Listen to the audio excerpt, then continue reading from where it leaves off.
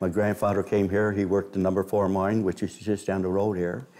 And that mine opened in 1866. It closed in 1961. My grandfather had six boys. They all worked underground. My dad worked underground. My, gra- my fa- grandfather, I lost two uncles down underground, which roof came in on them. I lost my first cousin, fell underneath the rake box. I had a brother work the mine. I had four cousins work the mine.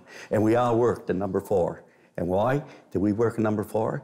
Because my grandparents came over here, they couldn't speak English. So what they do, this company would take all the Poles that landed here, put them in number four mine, and then put an interpreter at the mine site till you learn how to speak English. And once you learn how to speak English, then you go to other mines after that in section here. And Italians, yeah, there was 100 families came over here around the same time. 1A mine up in Dominion, Ukrainians, Czechoslovakians, number two mine, and people from England, Scotland, Wales, Germany, France, Belgium, Newfoundland. And this what this little island is made up of immigrants who come over here at that time to work for that company over here and the hardship that they went through and the dangers that they went here.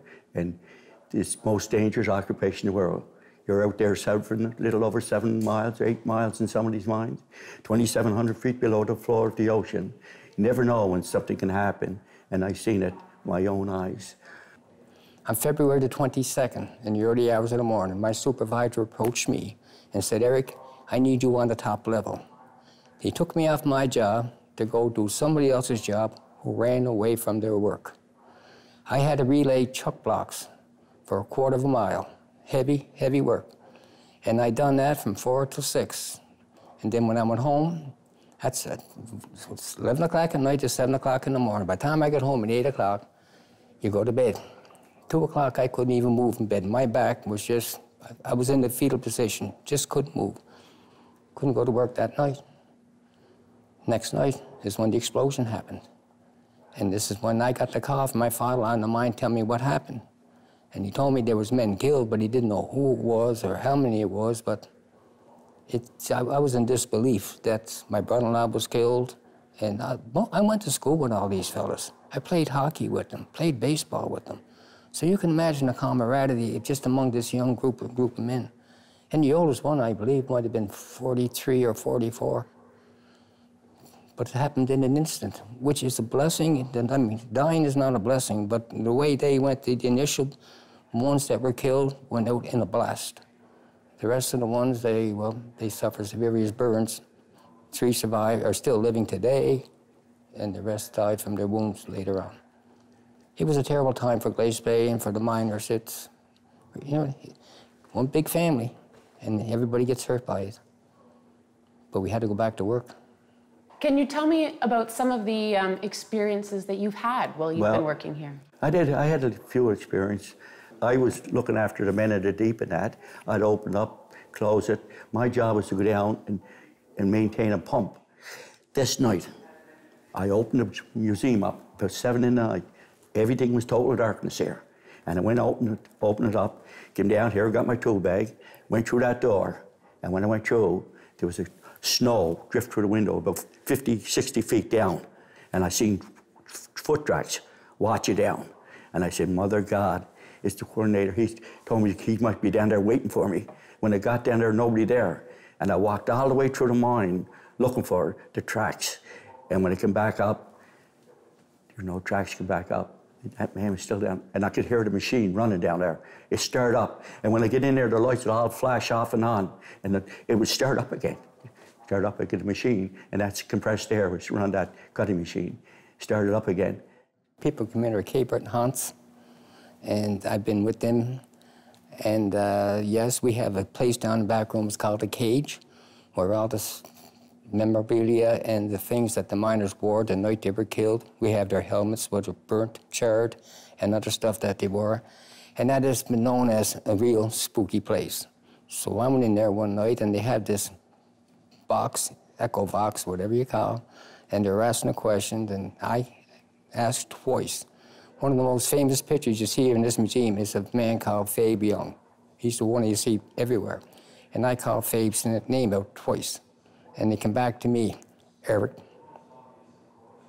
Eric. Everybody in the room could hear it. And I didn't want to believe it, but I heard it. I actually thought it might have been someone throwing their voice in there, but we went into another room and there was a couch that was donated by someone's family. And I asked, Has anybody ever died on this Chesterfield couch? Yes. I said, What from? The voice came back, Black Lung. Yeah, it's, it's, it's definitely happened. So that's the neary place that I don't like visiting there by myself. Actually, I won't go there by myself, no. I'm not a real believer in this stuff, but there's some things you can't account for. Another experience would happen to me. Mary Alice told me to open up. The, she said the, the alarm is going off down there. I only live up the road. Will you go down? She was scared to go down. I came down. I put the alarm. I opened the door. When I went down, and the, the cage that's down there with all the artifacts down there, men got killed in the pit, old hats and lamps and that. And I can hear people talking down in the back. And I was the only one there. And I hollered down, anybody there? Anybody there? Nobody answered. And then I started walking down towards them. When I oh, got handy, them they stopped. And then when they come back again, they start up again, start talking over again in here. And that's something I, I witnessed it uh, down there. And even that back then, the machine is start up and going all the time, fellas here. So this is my experience because I had the Dunes open place here and closing it, and all alone, nobody else around here. See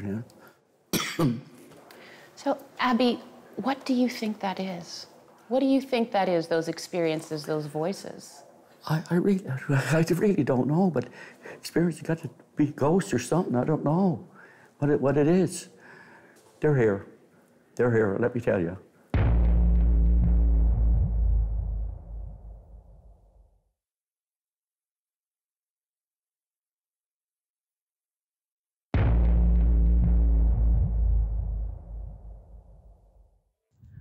Okay, so lights keep dying, so I'm gonna go old school again with this.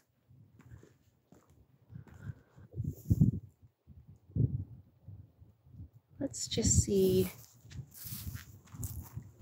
if anything wants to communicate with me.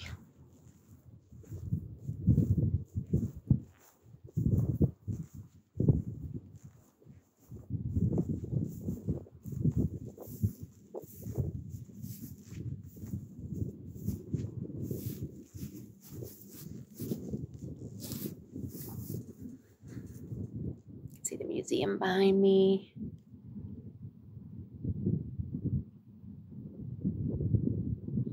Moon.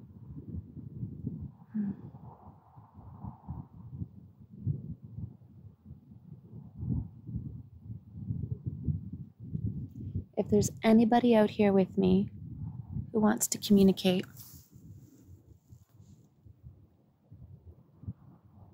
make a noise. Well, I heard something. Can you make that noise again?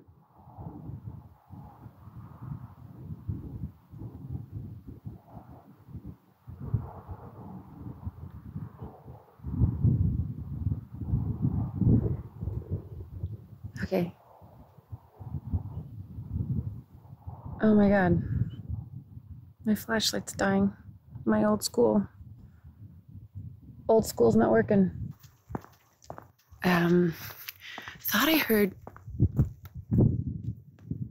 That light just go out? Seriously? This light ahead of me just went out. You can't see it because it's out, but literally just went out. Okay, well, the one ahead of it is on, so bear with me as we pass through darkness.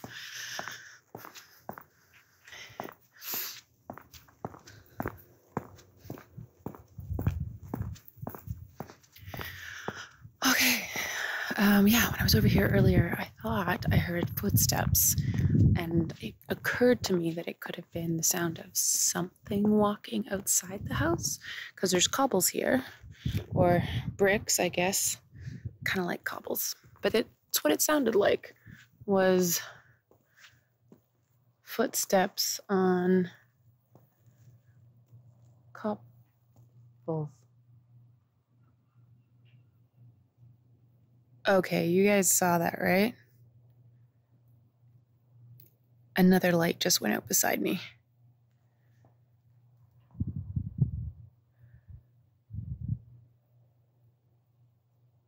Oh my god, is there something following me?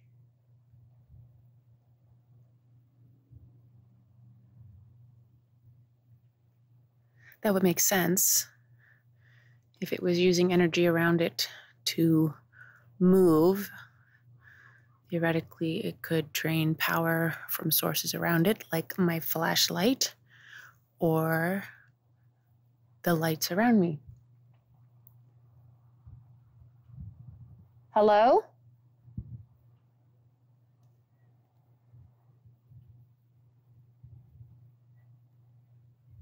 Is there somebody here with me?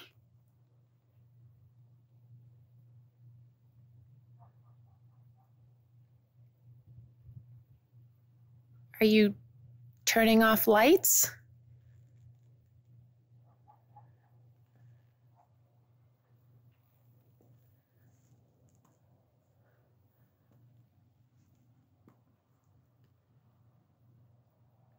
Okay, let's keep going and see if that happens again. Let's have a look ahead of me.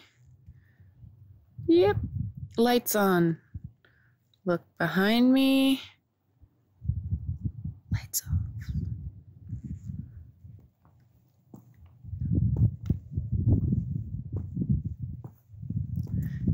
Doesn't really make sense for lights to go off while you're next to them if they're on motion sensors, which I wouldn't say that they are.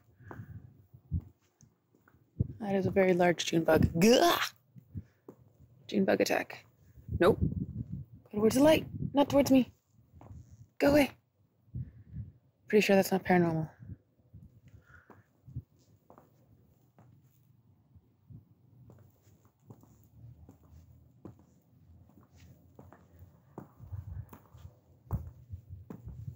Okay. There have been no more lights going off. Getting to the last one here.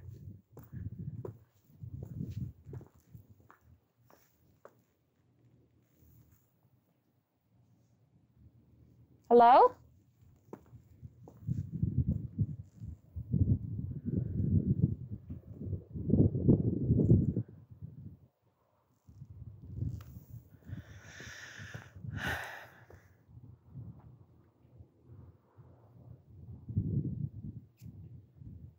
I'm still really weirded out about those lights.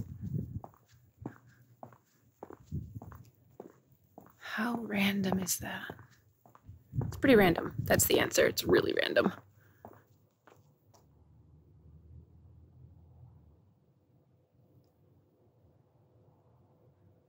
Okay, I'm gonna have to check the footage on that one. But I thought I saw something behind me, like here.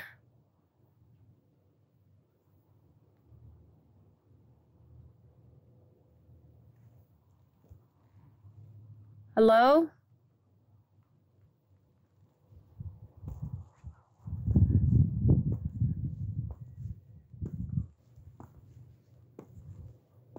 This is so cool.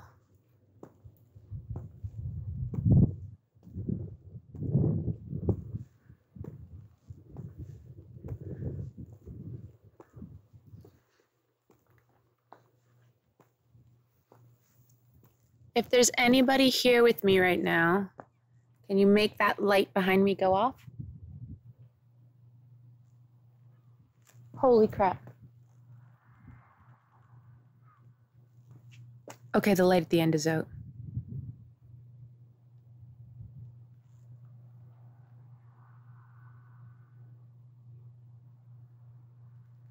Can you see that? Light, light out.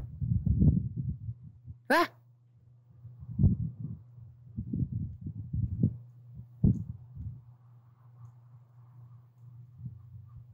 Okay, these are either the weirdest lights on timers or there is something seriously messed up going on out here.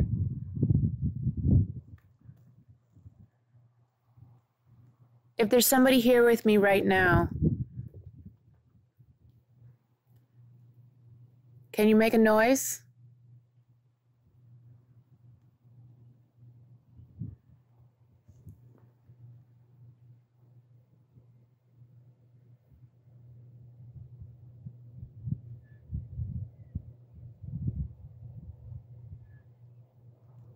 Can you knock on something or. Oh my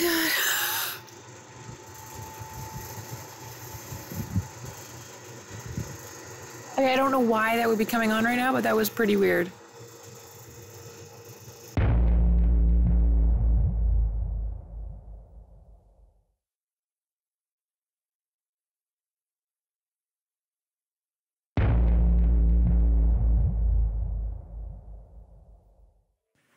My name is Dylan Garland. I'm here with a group that are investigating this place to see if there's anybody on the other side of life that would like to talk to us. And we just want to learn the story of this place and just chat.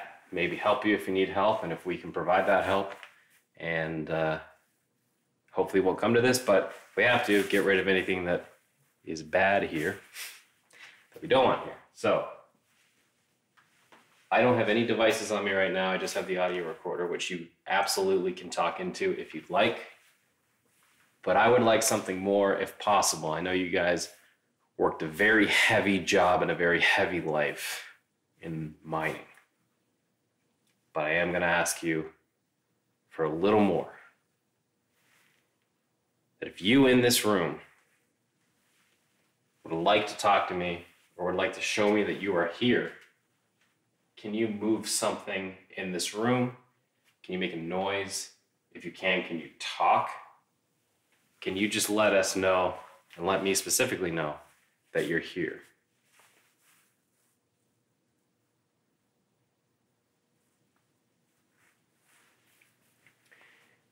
And we mean no disrespect.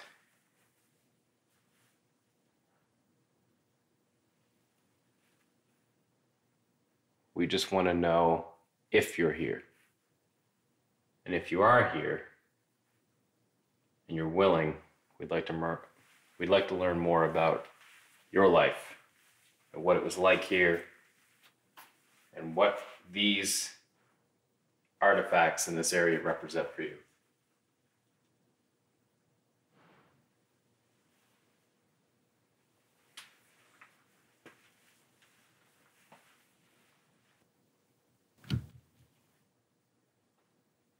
Somebody up there? I think I just heard the wood creak. I don't know if that got picked up on the audio, but there was a wood creak up there. And I know where everybody is right now, and nobody's up there right now. Is anybody here? Are any miners still here with these artifacts, with anything?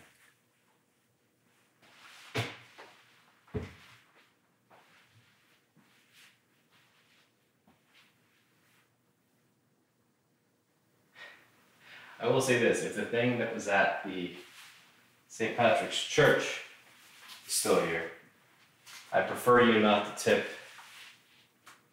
all these shelves over. I know you tried to kill me before. Prefer you don't try that right now, please. Thank you. So I just noticed something that I did not notice while we were doing this earlier. There are wooden legs here.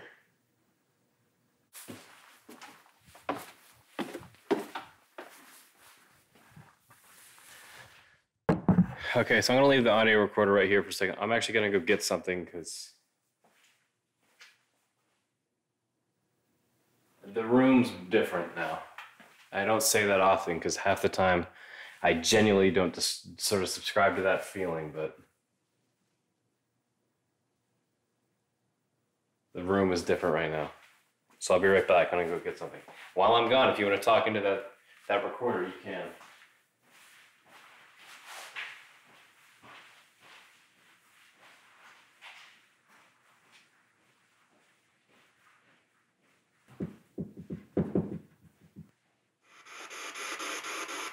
Okay, so what I'm gonna do is I want you to go up there, and I'm gonna stay down here, Okay.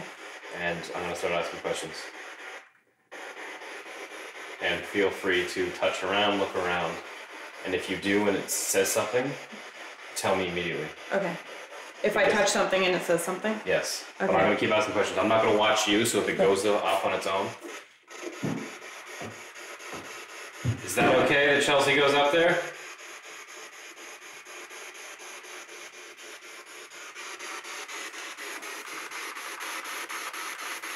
Okay. Are you still here? Sounds like a yes to me. That was a yes to me. All right. We're gonna switch. You go down there, I'll stay up here. Okay, let's do it. Okay, I'm coming upstairs now next to the wooden legs. Set the audio recorder down here. Chelsea is down where I was.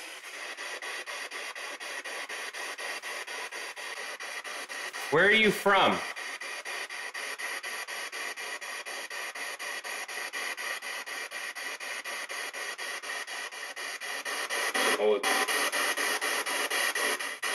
I, I think I heard something along the lines of a bullet. Where are you right now? Then you. Does it say near you? I heard near. I heard you. How can we help you tonight? We'll be here for two nights. How can we help you? Because sometimes, yes, we are a tad bit aggressive speaking to people on the other side.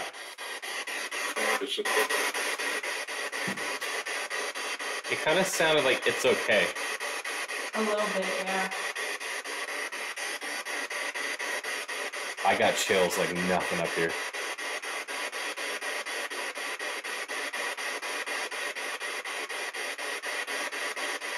You still with us? I understand this probably takes a lot of energy, so I'll start asking yes or no questions. Were you one of the men who died in the explosion in the mine? Holy shit! Holy shit!